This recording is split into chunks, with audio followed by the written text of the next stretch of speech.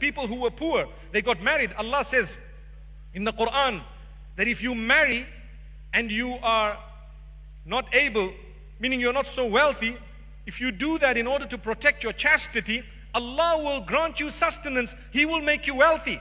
Listen in Surah An-Nur, Allah says, إن يكونوا فقراء يغنيهم الله من فضله Speaking about marriage, if the two are poor, their intention was to please Allah subhanahu wa ta'ala, Allah will grant them that financial independence.